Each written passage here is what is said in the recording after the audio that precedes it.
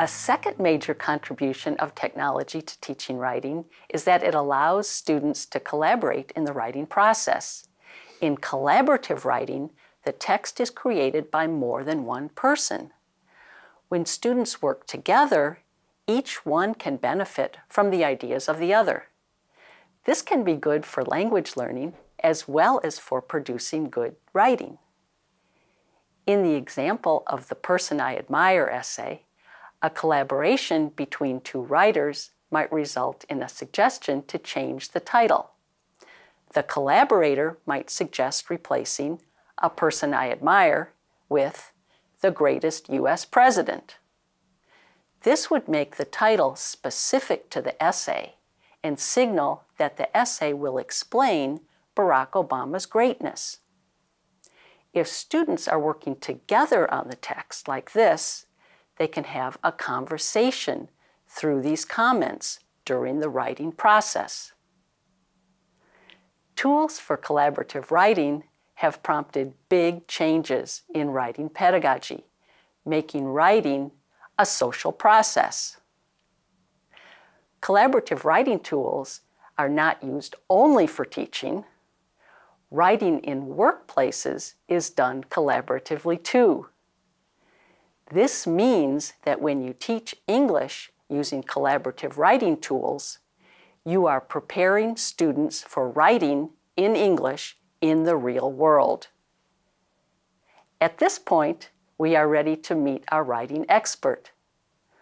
Professor Cotos teaches English at Iowa State University. She also does research to investigate how to teach writing better by using technology.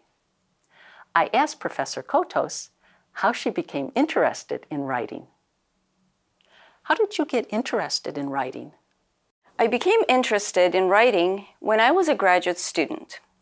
Coming from a different country and a completely different educational system, I was challenged by all the writing assignments that I had to complete in my coursework. Even though I knew English well enough, I was not at all confident in my academic writing skills. I was eagerly waiting for the feedback from my professors and I came to realize that the way I was taught to write in my own language was drastically different from the kind of writing expected here. For example, back in school, my teachers always emphasized that the main idea has to be developed gradually with details that are described using complex sentences and abundant stylistic devices like metaphor, hyponymy, hyperbole, and so on. I learned to write very long, complex sentences and to use flowery language. I came to realize that in English, the readers have completely different expectations. They want to see the main idea at the very beginning, and they expect carefully organized details to support the idea. I also realized that flowery, metaphorical language is not very appropriate in academic writing.